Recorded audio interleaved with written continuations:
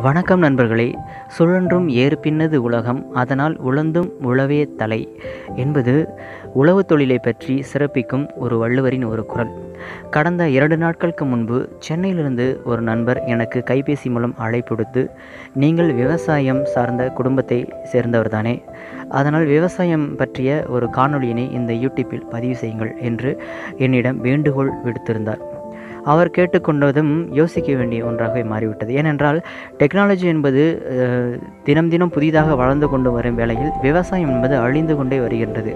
அதனால் இது போன்ற விவசாயம் சார்ந்த சில காணொளி பதிவுகளை யூடியூப் மூலம் பதிவேற்றுவதன் மூலம் அது அது சார்ந்த விஷயங்கள் தெரிந்து கொள்ள ஆசைப்படுபவர்கள் அதை பார்த்து கண்டிப்பாக தெரிந்து கொள்ள முடியும். அது மட்டும் இல்லாமல் சிலருக்கு அது விவசாயம் சார்ந்த ஆர்வமும் வளரும் வாய்ப்புகள் மிக அதிகம். அந்த நண்பரின் வேண்டுகோளுக்கிணங்க கம்பு பயிர் சார்ந்த ஒரு காணொளியினை இதில் பதிவிடுகிறேன். ஒரு மாலை பொழுதினிலே கம்மம்பயிர் செழித்த ஒரு வயலினை அடைய மெல்ல நடந்து செல்கிறேன். வானம் மஞ்சள் பூத்த ஒரு மலர் போல மலர்ந்து காணப்படுகிறது. இன்னும் சிறிது நேரத்தில் இருள் கவ்வி கருமை நிறத்தை அடைவதற்கான வாய்ப்புகள் அதிகம். அந்த நேரத்திலே நான் மெல்ல மெல்ல நடந்து ஒரு வயலினை அடைவதற்காக சென்று கொண்டிருக்கிறேன். இது எந்த இடம் என்று நீங்கள் பார்த்தால் கும்பகோணம் அருகே கங்கை கொண்ட சோழபுரம் என்ற ஊரின் அருகே உள்ள ஒரு வயல். மெல்ல மெல்ல கால்நடையாக நடந்து வந்து ஒரு கம்மம்பயிறு செழித்து வளர்ந்த ஒரு வயலினை அல்லது ஒரு காட்டினை அல்லது ஒரு நிலத்தினை நான் அடைந்து விட்டேன். இப்பொழுது நீங்கள் பார்த்து கொண்டிருப்பது பசுமை பூத்த கம்மம் பயிர் செழித்து வளர்ந்து இருக்கிறது இங்கே.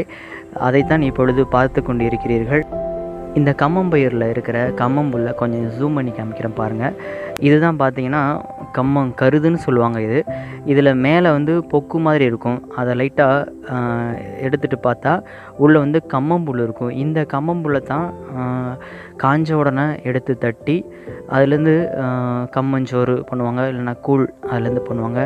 நிறையா உணவுப் பொருட்கள் இதில் பண்ணுவாங்க. இந்த இதில் தான். ஒரு பொதுவான விஷயத்தை நம்ம கம்மம்புல்லை பற்றி பார்க்கலாம். இது பார்த்திங்கன்னா இது வந்து ஒரு சிறுதானிய பயிர். புன்சை நிலத்தில் வந்து விளையக்கூடிய ஒரு பயிர். இந்தியாவில் குறிப்பாக வந்து நம்ம தமிழ்நாட்டில் வந்து இதோடைய உற்பத்தி வந்து அதிகம். இதோடைய விளைச்சல் தரும் நாட்களை பார்த்தீங்கன்னா மூணு மூணு மா மூன்று மாதத்துலேருந்து நாலு மாதத்துல வரைக்கும் இது வந்து விளைச்சல் கொடுத்துரும்.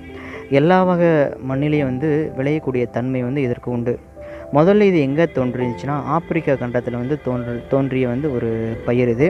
அப்புறமா ஆசியா ஆப்பிரிக்க கண்டத்தில் வந்து நம்ம மனுஷங்களுக்கு சாப்பிட்றதுக்கும் அதேமாதிரி கால்நடைகள் சாப்பிட்ற தீவ தீவனமாகவும் இது வந்து பயன்படுத்திகிட்ருக்காங்க வறட்சியை தாங்கி வளரக்கூடிய பயிர் வகையில் இதுவும் ஒன்று தானியங்களில் பார்த்தீங்கன்னா அதிக அளவு கம்பில் தாங்க வந்து புரோட்டீன் வந்து ரொம்ப அதிகம் இருக்குது அதாவது பதினொன்று புள்ளி எட்டு சதவீதம் இருக்கிறதா வந்து சொல்கிறாங்க ஆரோக்கியமான தோல் நமக்கு வேணும். நல்லா கண் பார்வை கிடைக்கணும்னா இந்த கம்பு எடுத்துக்கலாம். ஏன்னா முக்கிய அந்த ரெண்டுக்கும் தோலுக்கும் கண்ணுக்கும் முக்கியமான சத்தான விட்டமின் ஏழு இருக்கிற பீட்டா கரோட்டின் வந்து இந்த கம்மம்புள்ள தான் ரொம்ப அதிகமாக இருக்குது அதனால் நீங்கள் கம்பு சாப்பிட்டீங்கன்னா தோல் மற்றும் கண் வந்து ரொம்ப நல்லது. அது மட்டும் இல்லாமல் கால்சியம் விட்டமின் சத்து இரும்பு சத்து நயாசின் இந்த மாதிரி நிறையா சத்து வந்து இதில் இந்த சிறுதானியத்தில் வந்து ரொம்ப அடங்கியிருக்குது. அது அது மட்டும் கிடையாது எக்ஸ் கூடுதலாக பார்த்தீங்கன்னா ஒரு அஞ்சு சதவீதம் எண்ணெய் இந்த கம்பில் வந்து கிடைக்கிது. இது உங்களுக்கு தெரியாதானா அஞ்சு சதவீதம் எண்ணெய் இதில் வந்து உள்ளடங்கியிருக்கு. இந்த எண்ணெயில் பா எண்ணெயில் வந்து இந்த எண்ணெயில் கொழுப்பு இருக்கும் இந்த கொழுப்பு வந்து உடம்புக்கு வந்து ரொம்ப நல்ல செய்யக்கூடிய ஒரு கொழுப்பு. இந்த கம்புனால் என்ன நன்மை அப்படின்னு பார்த்தீங்கன்னா ரத்த அழுத்தம் வந்து நமக்கு வந்து இருக்கும். அதாவது உங்களுக்கு ப்ளட் ப்ரெஷர் இருக்கிற மாதிரி இருந்தால் இதை நல்லா சாப்பிடுங்க இதாயிரும். அதேமாரி உடல் உஷ்ணம் சிலருக்கு வந்து உடல் ரொம்ப ஹீட்டாக இருக்கும் இல்லையா? அந்த மாதிரி ஹீட்டுக்கு வந்து இதை வந்து சாப்பிட்லாம். அதேமாதிரி உடல் எடை வந்து அதிகமாக இருக்கிறவங்க இதை சாப்பிட்டா உடல் எடை வந்து குறையும். குறிப்பாக சர்க்கரை நோய் அடுத்து சர்க்கரை நோய் இருக்கிறவங்க சாப்பிட்டா சர்க்கரை நோய் கம்மியாகும். இதை ரெகுலராக எடுத்துக்கிட்டால் சர்க்கரை நோயே வராது நமக்கு. இப்போ வயிற்றுப்புண் மலச்சிக்கல் இந்த மாதிரி இருந்தால் கூட அதுவும் வந்து வராமல் வந்து தடுக்கக்கூடிய ஆற்றல் வந்து இந்த கம்பயிருக்கு உண்டு.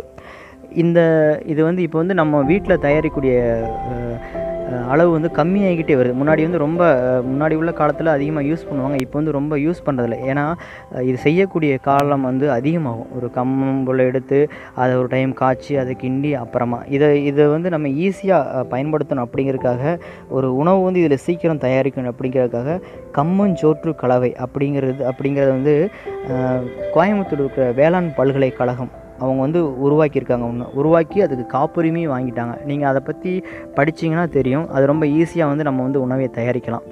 அதுக்கு வந்து காப்புரிமையை வாங்கி வச்சுருக்குறாங்க.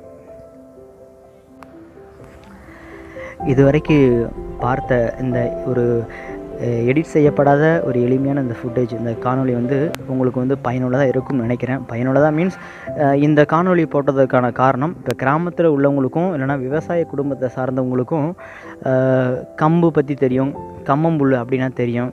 ஏன்னா சின்ன வயசுலேருந்தே நம்ம பார்த்துருப்போம் ஆனால் அதுவே வந்து நகர்ப்புறங்களில் வாழ்கிறவங்களுக்கும் இல்லைனா வெளிநாட்டில் வசிக்கிறவங்களுக்கும் கண்டிப்பாக வந்து ஒரு கம்பு பயிர் எப்போ இருக்கும்? இல்லைனா ஒரு கம்மம்புல் எப்படி விளையும்? இப்படிங்கிறது வந்து தெரிவதற்கான வாய்ப்புகள் ரொம்ப கம்மி. அதனால் அவங்க வந்து இதை தெரிஞ்சுக்கணும் அப்படிங்கிற ஒரு ரீசன். அது மட்டும் இல்லாமல் இனிமேல் வரக்கூடிய சந்ததிகள் வரக்கூடிய காலகட்டங்களில் விவசாயம் அழிஞ்சிக்கிட்டே வருது.